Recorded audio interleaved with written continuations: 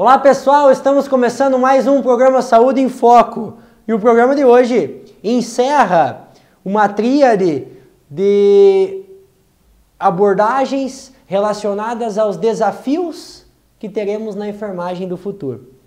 Quem conversa com a gente hoje, numa espécie de entrevista à distância, é a enfermeira Simone Peruso, minha amiga, presidente do Conselho Regional de Enfermagem do Paraná, do Corém Paraná, o nosso conselho de classe. A Simone vai falar um pouquinho aí sobre o perfil dos profissionais de enfermagem no Paraná e também vai fazer uma abordagem bem legal sobre a valorização da enfermagem no Paraná, no Brasil e no mundo.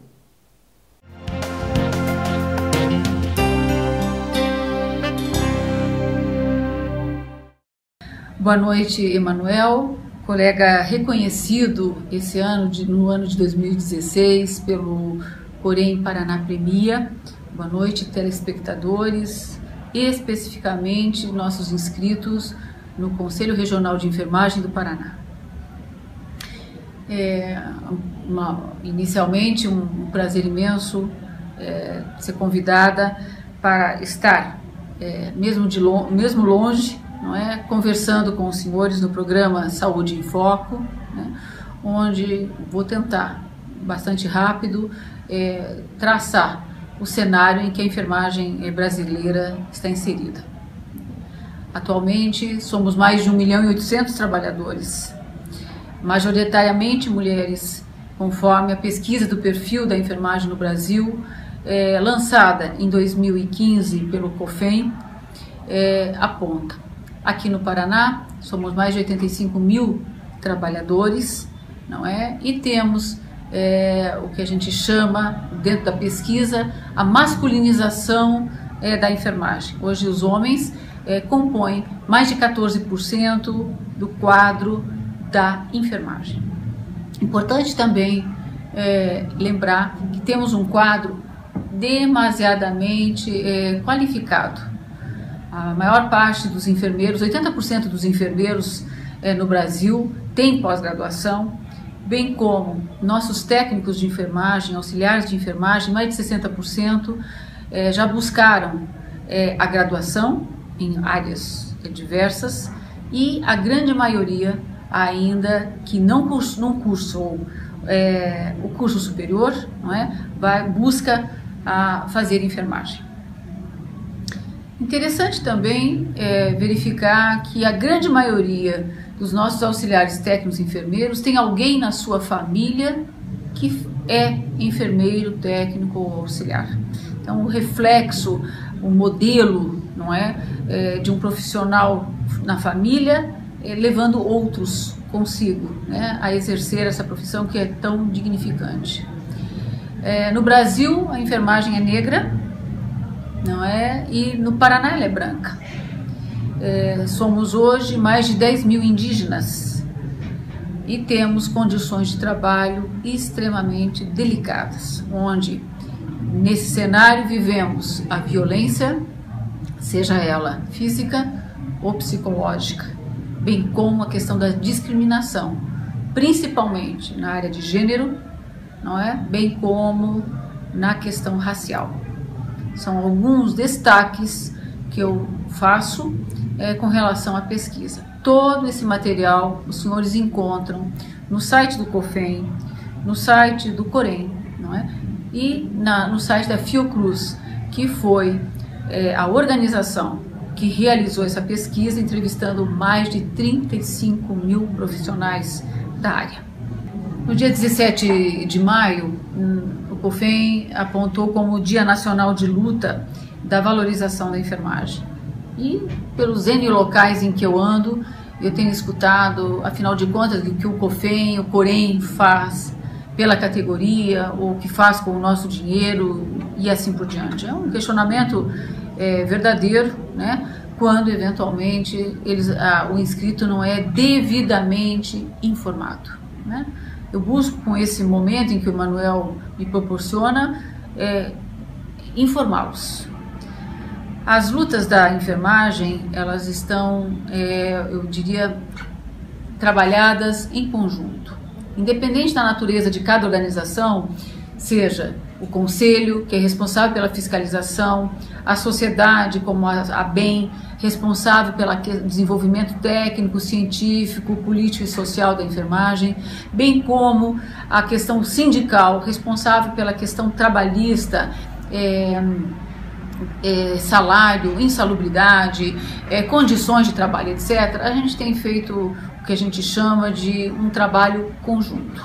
Então, o Corém apoia e preconiza em alguns momentos, articula com parlamentares uma série de lutas. Entre elas, eu destaco a questão do piso salarial, que já se encontra no Congresso e por N motivos, inclusive pelo cenário sociopolítico que vivemos hoje, está parado, não é? Mas temos o PL articulado, devidamente elaborado por esse conselho, é, esse sistema. Temos a questão da jornada de trabalho de 30 horas, uma luta já desde os anos 90, em que também está parada no colégio, passou pelo colégio de líderes, está para entrar na pauta do Congresso e que também por N motivos de conhecimento dos senhores está ainda é, parado. Uma luta pela questão de um local digno de descanso para a enfermagem. A ausência de isonomia de tratamento entre os profissionais, ela é clara, ela é descarada, não é, na, nos ambientes de saúde, não é? Alguns é, profissionais com toda a regalia e eu nem, falei, nem falaria regalia, diria todo o reconhecimento da necessidade do descanso, enquanto nós, a enfermagem, ainda descansamos embaixo de escadas ou em banheiros. E então nós estamos articulando com parlamentares aqui no Paraná um PL específico para a questão do descanso digno da enfermagem, bem como temos um, também um projeto de lei no Congresso é, Nacional. A questão do dimensionamento é grave, não é? A falta de, de investimento em RH ela é geral. Esse tem sido um trabalho quase que insano desempenhado pelo Departamento de Fiscalização, não é? E a questão é, da formação, que nos dias de hoje enfrentamos a questão do ensino à distância. Além disso, é, e na sequência, eu, se me permitir o programa, é, eu vou dar ênfase na questão da IAD. É, é importante que vocês, ao visitarem a nossa página, é, vocês observem o que nós também entendemos como valorização. Nós temos três programas hoje é, disponíveis. Temos o Corém Informa, vocês devem ter visto, visto não, mas acompanhado no Facebook as matérias, o dia a dia do conselho. Aliás, se alguém tiver alguma dúvida com relação à minha agenda de trabalho, é, vocês encontram a minha agenda é, no sistema, não é? é? Por outro lado, temos também o programa Corém Paraná é, Atualiza. São é uma capacitação que é oferecida pelo Conselho sem nenhum tipo de, de, de é, gastos, não é, de investimento por parte dos nossos inscritos ou da, da, do, da, do serviço de saúde e que está lindamente demonstrado na página, constituído por mais de quatro cursos, principalmente na área de ética, legislação, é, processo de trabalho, relação de conflito, sistematização da assistência e depois as áreas específicas, seja erros de medicação, seja cuidado de pré-natal, é, seja segurança do paciente, entre o N outras é, temáticas. Temos também o Corém Paraná Premia, né? É, no início da nossa fala eu apontava que o Emanuel foi um dos é, homenageados é, e principalmente reconhecido no trabalho que, de comunicação que desenvolve, não é? E que todos os senhores sintam-se devidamente convidados a participar, seja na, na, na, na, na questão da, da homenagem, seja na questão de destaque, seja até por uma questão de reconhecimento de, eh, no trabalho que os senhores com, certamente desenvolvem.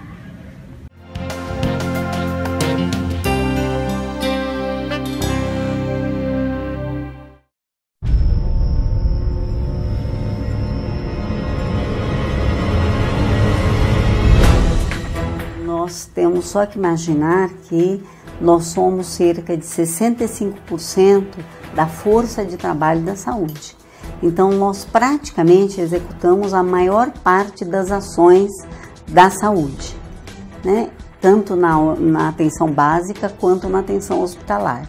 A importância do enfermeiro é gerar a melhor qualidade possível. Eu senti o tato, o contato né, direto na assistência da enfermagem, ela é imprescindível que ela seja presencial, que ela tenha um contato com a parte técnica e a parte prática né, das suas atividades. Para que a gente tenha um profissional tecnicamente bem preparado, para que ele seja eticamente alicerçado, para que ele tenha uma formação humanista e comprometido com o sistema de saúde, sem dúvida alguma ele precisa ter uma inserção na comunidade, ele precisa atuar cuidando das pessoas, estando supervisionado por profissionais de saúde, e isso não tem como ser feito se não for presencialmente. Há uma necessidade, no caso específico da enfermagem, que haja aulas práticas de anatomia, de histologia, de bioquímica, que haja um estágio supervisionado eh, na área de enfermagem, que haja todas as, atribuições que são exigidas em ensino uh, presencial, também à distância. Profissional essencial. Na verdade, nenhuma, nenhum sistema de saúde no mundo é, prescinde da presença do enfermeiro, seja o enfermeiro, seja o técnico auxiliar. É necessário ter um marco regulatório para a formação de profissionais de saúde e particularmente de profissionais de enfermagem. A formação de profissional de saúde exige experiência prática, exige contato, exige mecanismos que inclusive ajudem a humanizar a atividade típica como é a atividade da enfermagem. Então eu considero que é um método inadequado, por isso eu propus a vedação da possibilidade da formação de profissionais de enfermagem do uso do uso dessa ferramenta. É necessário o um mínimo que é o toque, é necessário que se observem as reações, é, é necessário que a tomada de decisões seja de forma presencial, porque aí é, é, é presencialmente que esse é, profissional vai exercer sua profissão. E por mais que você tente simular isso em ambientes virtuais, é, ele não desenvolve habilidades e competências é, que são necessárias. Nós é, temos avaliação que na área de saúde, na área de enfermagem, o ensino à distância não é adequado para a formação de profissionais de saúde de qualidade. Profissional de enfermagem formado à distância, com má qualidade, ele, se errar, ele pode tirar a vida de uma pessoa. Não existe ninguém preocupado com a qualidade do profissional que está soltando no mercado. É um verdadeiro absurdo, é inadmissível, não dá para acreditar que isso está acontecendo no Brasil. Profissionais da área da saúde se formando por ensino à distância. Não tem cabimento. Isso é, é uma prática desrespeitosa para com a sociedade. Acho que nós temos que mobilizar a sociedade, temos que mobilizar o poder público contra o ensino de má qualidade na formação de profissionais de enfermagem no Brasil. COFEM e os conselhos de enfermagem, os 27 coréns que compõem o nosso sistema, têm uma posição firme de considerar inadequado para a formação de enfermeiros e técnicos de enfermagem o ensino à distância. Não se ensina a cuidar em simplesmente em ambientes 100% é, virtuais, 80% virtual. Quem realmente é, vai sofrer na ponta esse risco é a sociedade. Todos nós, em nossas vidas, passamos é, pelos cuidados de um profissional de enfermagem, seja em qualquer momento, seja no momento crítico ou no momento preventivo. Se você forma bem um profissional, a sociedade vai ser beneficiada com um profissional bem formado. Se você forma mal, a sociedade vai ser prejudicada. Como deputado federal, eu não apoio a formação de profissionais de enfermagem à distância. A sociedade vai ter um prejuízo muito grande né, na hora que ela for atendida por um desses profissionais que não vai estar altamente qualificado para prestar um atendimento digno e vida né, que está em jogo. Então, acho que isso aqui tem que primar pela qualidade e pela eficiência desses profissionais na hora que estiver executando as suas atividades. Investir na formação dos enfermeiros é decisivo para a qualidade de qualquer sistema de saúde no mundo, em especial no Brasil, com o papel que os profissionais de enfermagem tanto os enfermeiros quanto os técnicos de enfermagem têm no Sistema Único de Saúde e também no setor privado. Ensino à distância da enfermagem, eu diria, para meu ver, é uma afronta para a população. Como é que é possível imaginar que a formação desse profissional para cuidar da gente possa ser feita online? Profissionais que não vê o paciente, não pega no paciente, não atende o paciente, forma para depois atender o paciente. Eu diria que isso é uma aberração. Tenho 18 anos de profissão e a única certeza que tenho é que não dá para formar profissional de enfermagem à distância. Um auxiliar de enfermagem entrar dentro de um pronto-socorro e trabalhar tendo estudado à distância.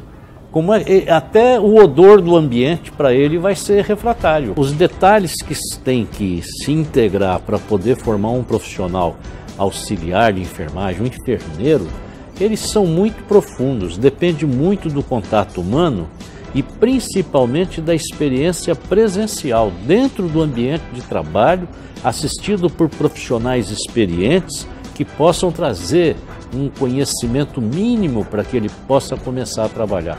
E eu não vejo a menor possibilidade disso acontecer com o ensino à distância. Se ele aplicar uma medicação errada na veia, ele pode matar aquela vida. Né? Não tem como reverter o erro. Né? Então, nós temos uma preocupação uh, no Conselho Federal com a saúde da população.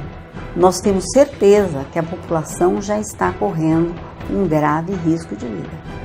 A mensagem do COFEM é não ao ensino, à enfermagem à distância, por uma questão de responsabilidade, por uma questão de compromisso e por uma questão de uma, de, de uma busca por uma saúde de qualidade cada vez melhor para a sociedade brasileira. O Conselho Federal de Enfermagem e os conselhos regionais de enfermagem não apoiam o ensino de enfermagem à distância. Essa é uma formação proibida para o conselho profissional. O interesse é um interesse puramente econômico não existe interesse de qualidade de formação. Nós somos 2 milhões de profissionais. Não dá para é, guiar a formação de profissionais de enfermagem unicamente pela ótica mercadológica, que é o que vem acontecendo. É preciso que a regulação por parte do MEC, do INEP, na autorização de novos cursos, no reconhecimento desses cursos também, seja feito com mais critério do que o que é feito hoje.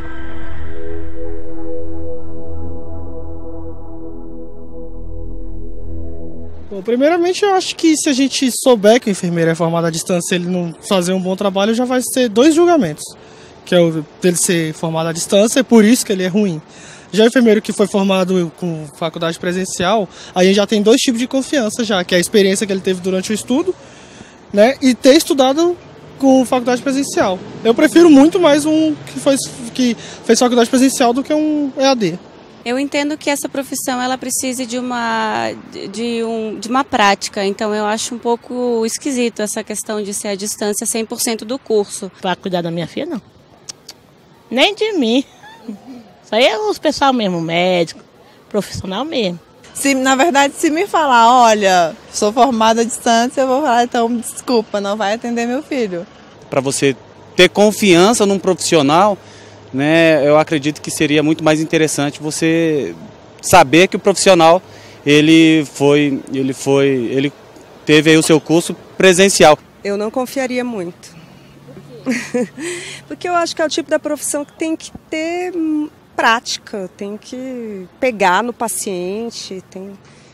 eu, eu valorizo a prática né, nesse, nessa profissão. Se tratar de saúde de seres humanos, então a gente tem que ter muita responsabilidade.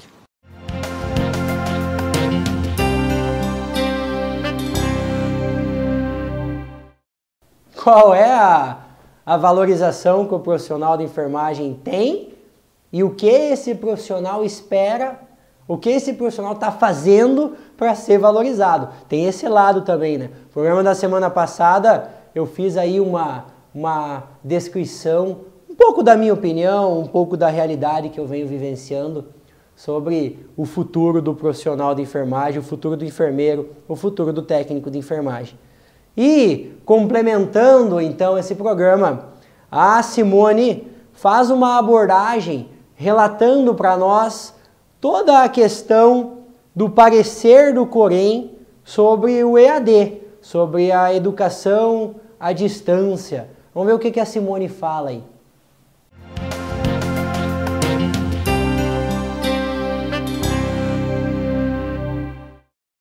Com relação é, a uma, uma, outra grande cobrança, é com relação à qualidade da educação. Ela é preocupante, não é?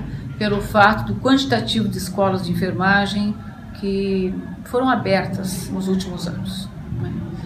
É, há, há mais de 10 anos, a própria Associação Brasileira batalha, juntamente com o sistema, é, no que diz respeito que os projetos pedagógicos passem sob análise é, do Conselho Nacional de Saúde no que diz respeito à real necessidade social desse curso naquela ou determinada região. E nós conseguimos esse decreto-lei agora no dia 10 de maio, que preconiza que não somente os cursos de medicina, psicologia e odontologia devem passar pelo Conselho Nacional, mas também a enfermagem. Penso eu que algum tipo de reflexo teremos com relação a esse eh, crescimento desenfreado, não é, das escolas de enfermagem. Eu acho que o mais que mais nos agride é a questão da EAD, 100% EAD na graduação da enfermagem, bem como no ensino técnico. Né? Tenho muita dificuldade de imaginar como uma profissão que lida com a vida, que trabalha com a questão relacional, destreza manual, habilidade, ética, é, é, interação, integração, não é? é? Como desenvolver esse conjunto é, de, de habilidades, não é, à distância. Hoje nós temos cerca de 56 mil vagas é, no Brasil como um todo e eu peço, eu conclamo à comunidade é, que se some a essa luta do COFEM, juntamente com todos os coréns no Brasil contrários à EAD. Aqui no Paraná, fizemos três grandes audiências públicas, eh, onde conseguimos moção, moção de apoio contrário à questão da EAD, não é? Tanto em Londrina, quanto em Foz do Iguaçu e aqui em Curitiba. Estamos articulando uma nova audiência na Assembleia Legislativa do Paraná. Brevemente, os senhores deverão ser convidados a participarem e peço mais uma vez, busquem informações é, com relação à temática, porque nós todos somos o paciente de amanhã.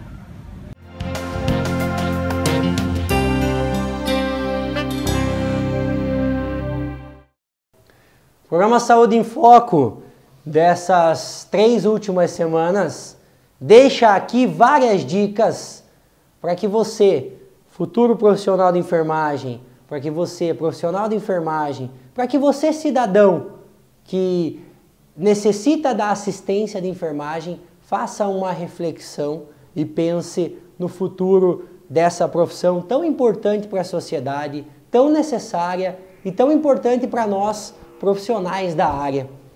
Eu quero agradecer aqui as pessoas que contribuíram para esse programa, né? As entrevistadas lá do começo, a Maria Isabel Raimundo, a Maria Lúcia Raimundo e a Alexandra Bittencourt, a minha amiga Simone Peruso, presidente do Corém, e a minha amiga Rosana de Vardim, lá de Ponta Grossa, que mandou um vídeo falando sobre as legislações. Programa Saúde em Foco, então, essa tríade está chegando ao fim. Nós vamos ao ar toda quinta-feira, às 22 horas, aqui na TV Araucária. Amanhã, no site G Notícias, lá na nossa página no Facebook, Programa Saúde em Foco, e no canal nosso lá no YouTube, Saúde em Foco Guarapuava. Eu quero o teu questionamento, a tua sugestão de tema. Veja como abordamos vários temas importantes aí sugerido por você. Manda lá no meu WhatsApp, 42 9927 5216. A semana que vem, com um novo assunto, nós esperamos vocês.